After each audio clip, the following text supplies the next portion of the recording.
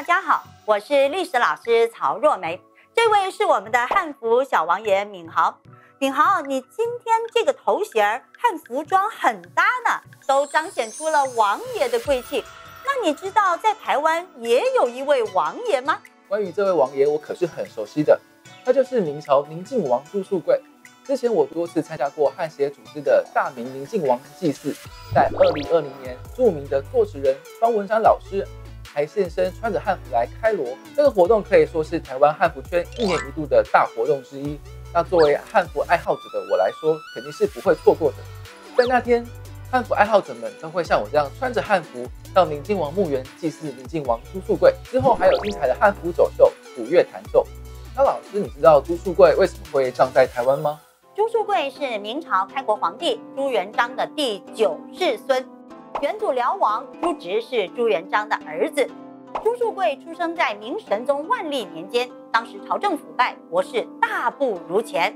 朱树贵十岁的时候被封为辅国将军，他体格壮硕，文武兼修，在家乡湖北荆州颇有名气。在他二十五岁之前的岁月，可以算是人生中。最美好的时光，因为在明思宗的崇祯十五年，来自陕西米脂县的李自成以及定边县的张献忠率领着军队攻陷了荆州，朱树贵被迫逃亡到了湖南。两年后，明思宗自缢殉国，明朝灭亡。明神宗的孙子福王在南京称帝，意图延续明朝。史称南明时期，朱树贵就与兄长长阳王朱树雅一同投效。当时朱树贵受封为镇国将军，驻守在浙江。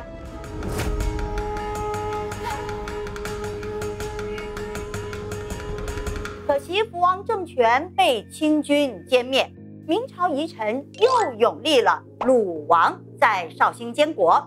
鲁王和朱树贵的辈分相同，虽然没有称帝，但是非常器重朱树贵，让他承袭哥哥长阳王的爵位。因为哥哥在兵荒马乱中生死不明，朱树贵很是担心。不久听说哥哥逃到了福建，朱树贵一则以喜，一则以忧，因为郑成功的家族在福州又永立了唐王为。隆武帝朱树贵前去拜见，终于和哥哥团聚，而唐王将他封为宁靖王，不称长阳王。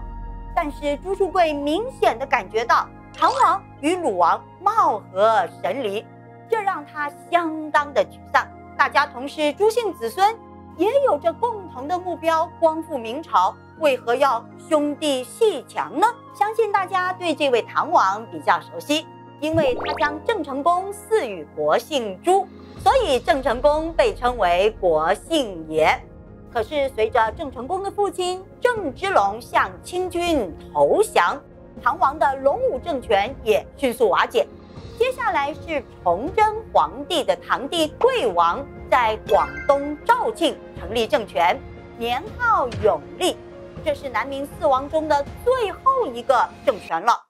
贵王将郑成功封为延平王。这时候的朱树贵往来于金门、厦门，颇受郑成功的敬重，算是颠沛流离中的小确幸。很遗憾的是，反清势力节节败退，鲁王在金门病故，而贵王呢流亡到了缅甸，最后在云南被吴三桂所杀。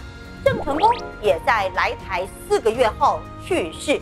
郑成功的儿子郑经继位，此时朱树贵担任荣誉职，和八百多位的明朝宗亲遗老来到台湾，时间是西元的一六六三年。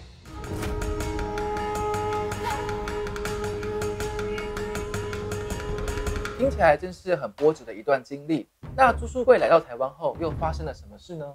郑经在承天府，就是今天的台南赤坎附近，修建了宁靖王府邸。原本要给予供养，但是由于经费不足，只好让朱树贵带领着农户们一同在高雄鹿竹区一带自行开垦。朱树贵待人谦和，指导大家修筑灌溉水圳，播种耕种，收获颇丰，还可以上缴赋税，为当时台湾的经济发展、人民生活的改善做出了一定程度的贡献。郑经深感欣慰，朱树贵更是百姓们所尊敬的大明王爷。可惜郑经执意要参加吴三桂的三反起兵，破坏了现有的宁静。朱树贵大失所望，也果然不出他所料，郑经的军事行动失败告终。郑经去世后，朝廷里发生内斗，年仅十一岁的郑克爽继位。康熙皇帝下令施琅平定台湾，朱树贵眼见光复明朝的大势已去，心灰意冷下决定自杀。朱树贵的原配妻子和子女都已不在人世，他的五位侍妾不愿意改嫁，集体自杀殉情。朱树贵对人世间再无留恋，他将他们殓葬后，烧毁了所有的土地契约。把田地分赏给了所有的佃农，然后他穿戴整齐了，自缢得年六十六岁。当地的百姓感念他的恩德，不仅为他送别安葬，还刻意的安排不少假的墓种，生怕清军来台后会加以破坏。直到二十世纪，墓种才被发现，仍由当地的居民维护。至于宁靖王府邸呢，则被改建为大天后宫。到了清乾隆十一年，树立起墓碑“宁靖王从此五碑墓”。朱树贵这一生遭逢乱世，位卑未敢忘忧国，是个悲情的王爷。今天我们的内容就先到这儿，大家再见，拜拜。